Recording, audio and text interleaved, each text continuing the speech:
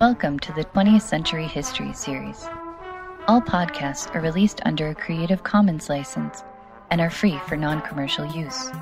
Each podcast is self contained and does not require listening to previous episodes. The author is Kim Sonderborg, editor is Philip Bird, and the editor in chief is Dr. Liam Brown. All episodes are read by Kim Sonderborg.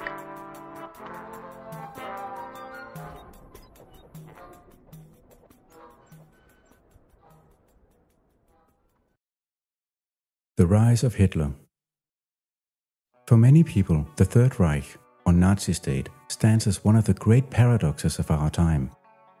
In just 12 years, from 1933 to 1945, an educated, modern, and cultured nation transformed into one of uniformed militarism, blind allegiance to a Führer, and race based hatred for other peoples.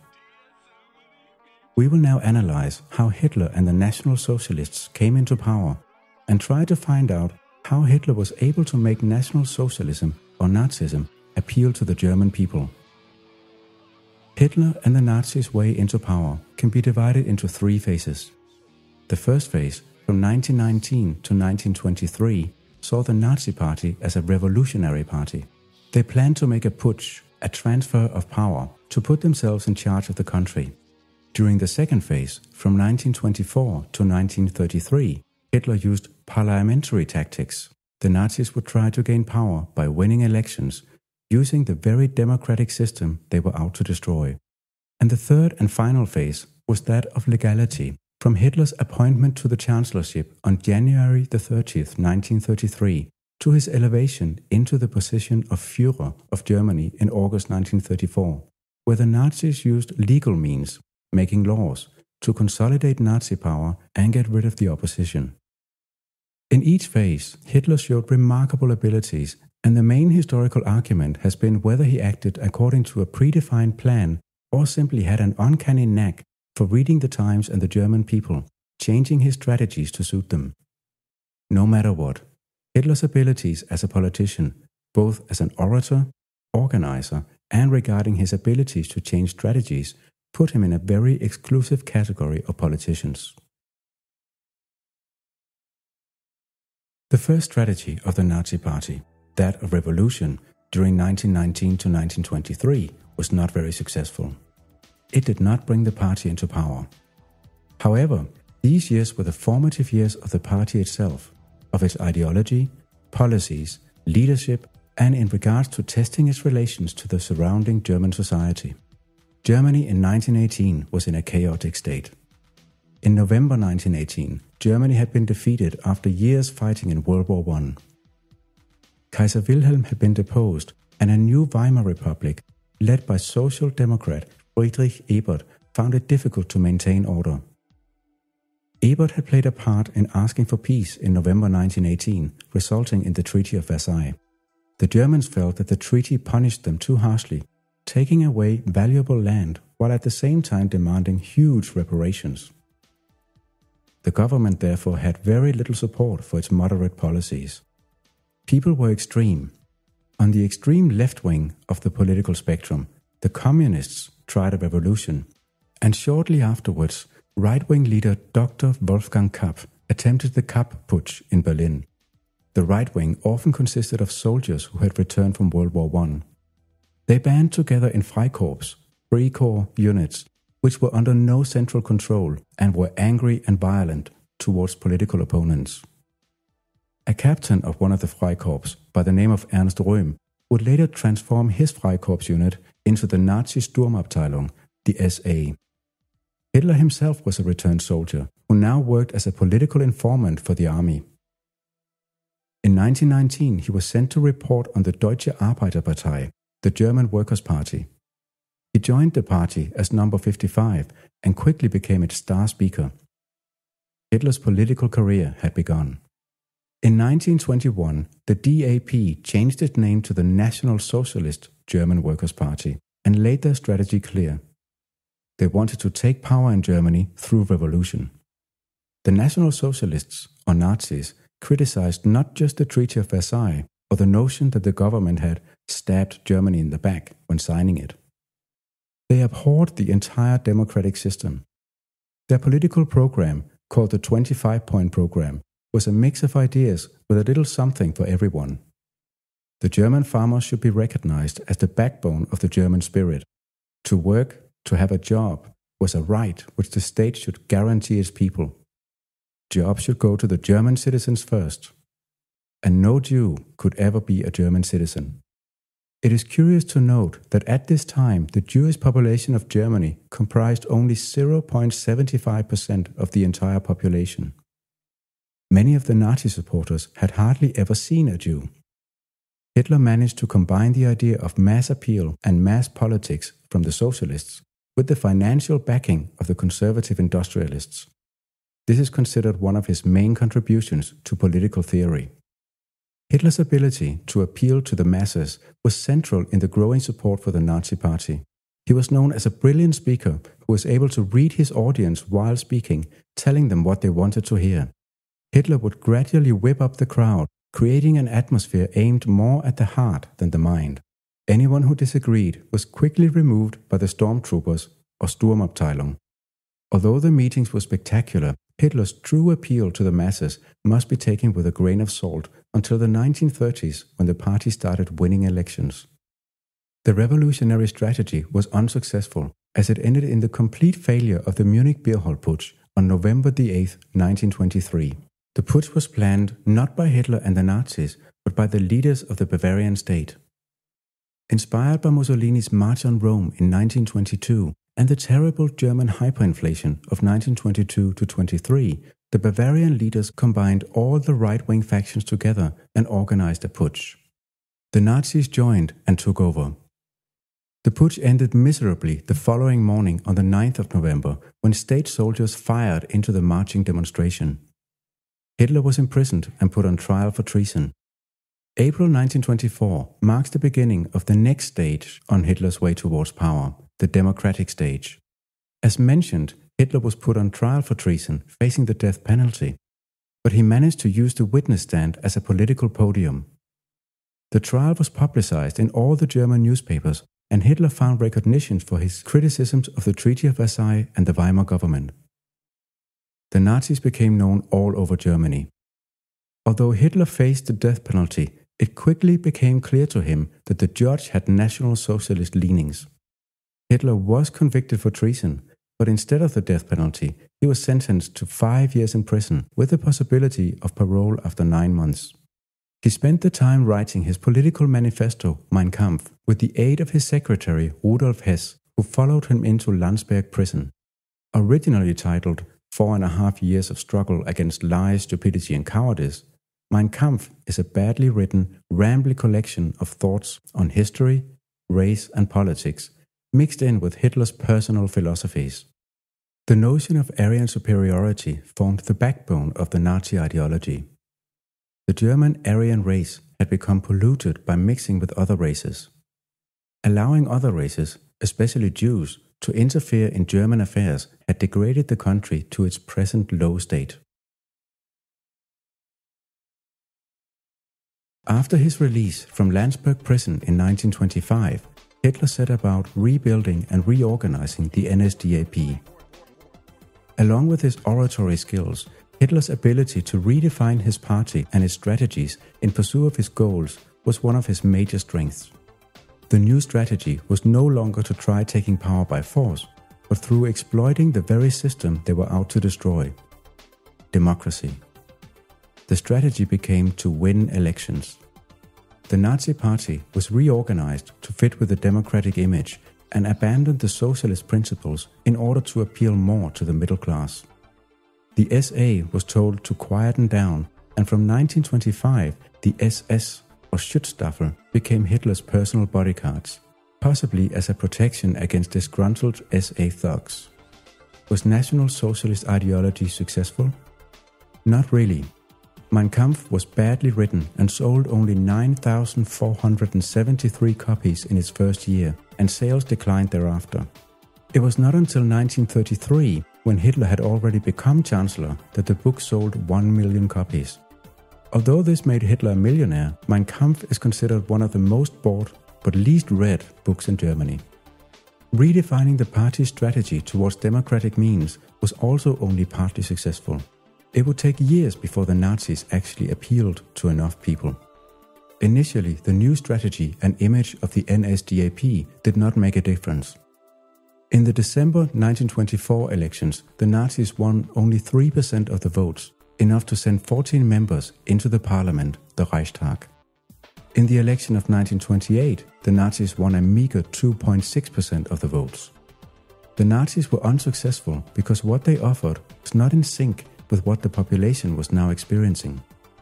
From 1924 to 29, the Prime Minister of Germany was Gustav Stresemann, who took office when Friedrich Ebert had lost all confidence of the voters after the Ruhr invasion and hyperinflation of 1923. Stresemann replaced the worthless inflation marks with a new Rentenmark and was instrumental in negotiating the Dawes Plan, which secured Germany an American loan of 800 million gold marks. As a consequence, the Germans enjoyed an economic upturn while being able to meet reparation payments abroad.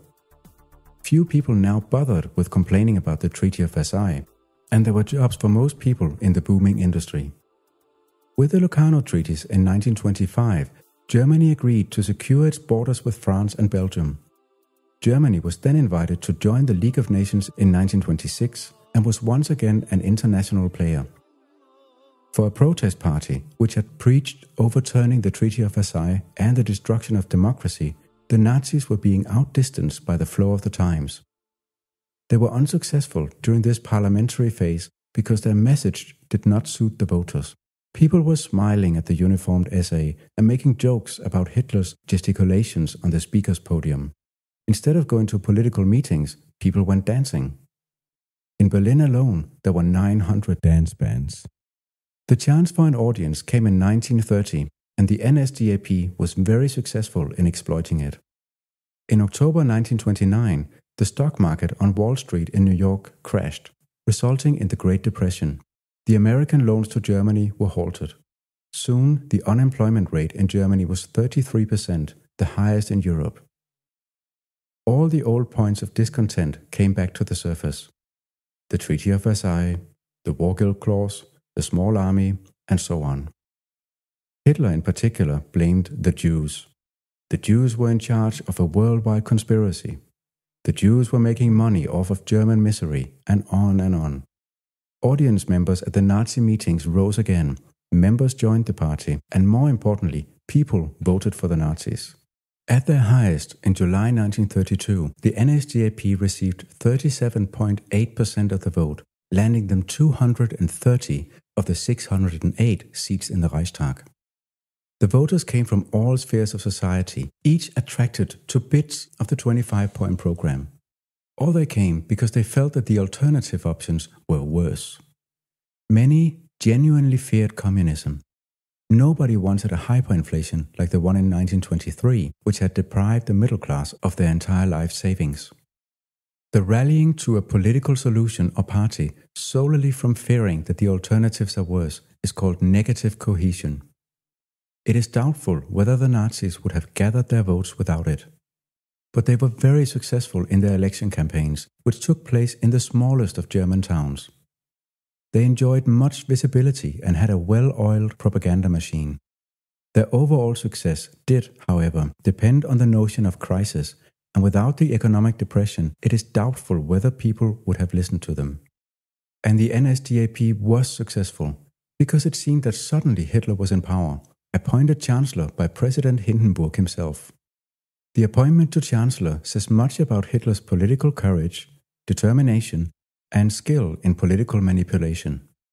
The short version is that President Hindenburg and Chancellor Brüning could not create a majority in the Reichstag without Hitler and the NSDAP.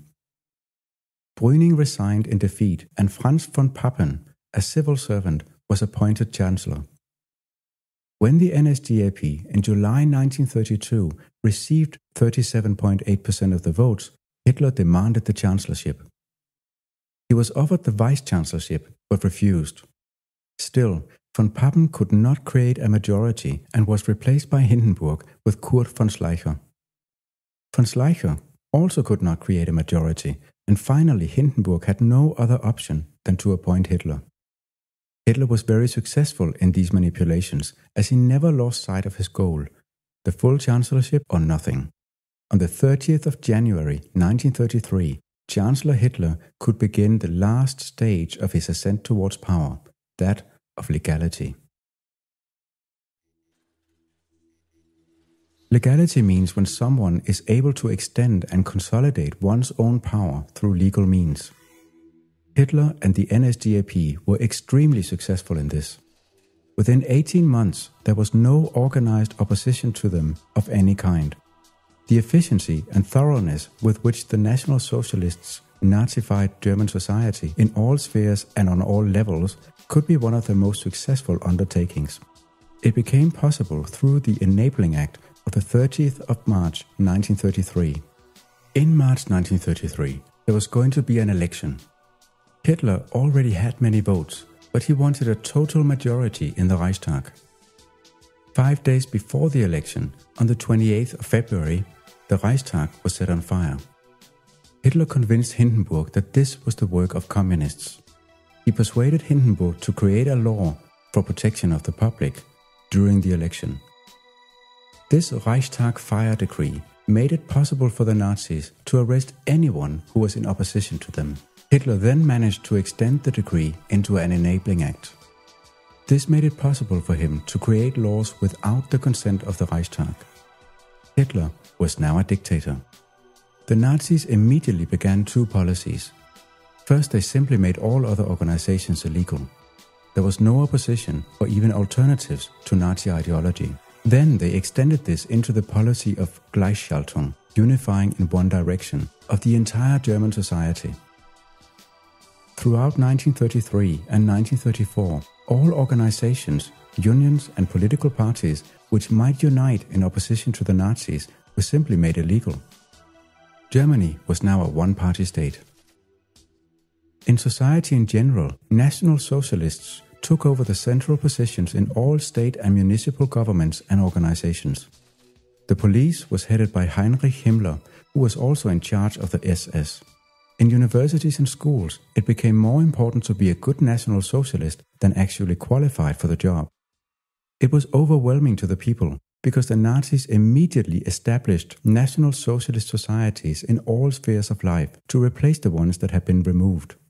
New professional organizations, such as the National Socialist Society of Teachers, or doctors, or lawyers, or journalists, sprang up until German work life was completely Nazified. Newspaper, radio, and all other media was brought in under the Ministry of Public Enlightenment and Propaganda, headed by Dr. Joseph Goebbels. An issue of special importance to Hitler was the German Wehrmacht, the army. Hitler made every single soldier swear a personal oath of allegiance, not to Germany or the Constitution, but to himself as the Führer of Germany. This became a problem for Ernst Röhm, leader of the SA. Röhm had always believed that his SA would form the core of the new German army. On the 29th to 30th of June 1934, the Nazis carried out the Night of the Long Knives, where Röhm and other Nazis who had become troublesome were simply eliminated. Two events marked the culmination of Hitler's ascent into power. In August 1934, President Hindenburg died. The offices of President and Chancellor were combined into one, that of the Führer, who was now the undisputed leader of Germany. And in 1935, the Nuremberg laws made it illegal for any Jews to hold important positions in Germany, while also creating a system for classification of who was a Jew and who was not. It seemed that Hitler's early ambitions for Mein Kampf had come to fruition. Germany was shredded of democracy, led by one single minded Führer, and the arch enemy Jew was to be excluded from German life. The Gleichschaltung was very successful, almost overwhelming. The Nazis were suddenly everywhere.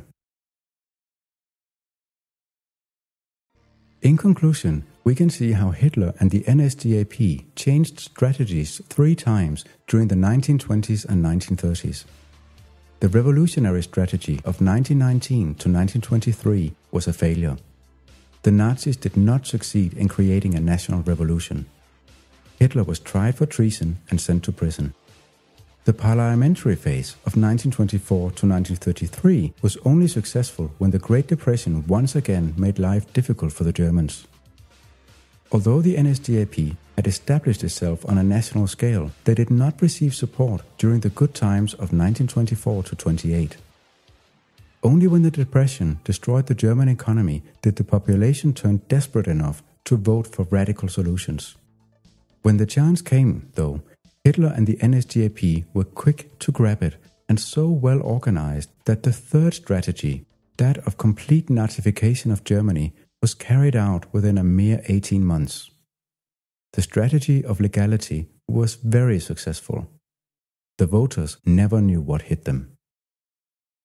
This concludes this episode of the 20th Century Histories Series podcast. Music for the intro and outro was made by Andrea LaRose while the music in this episode was made by Border Run. To download more of these podcasts or to leave a comment, please visit www.historypodcast.net. Thank you for listening.